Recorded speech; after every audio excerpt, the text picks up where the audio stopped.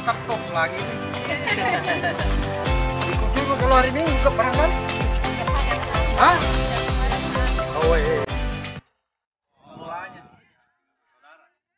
Hah? Tidak bisa kok.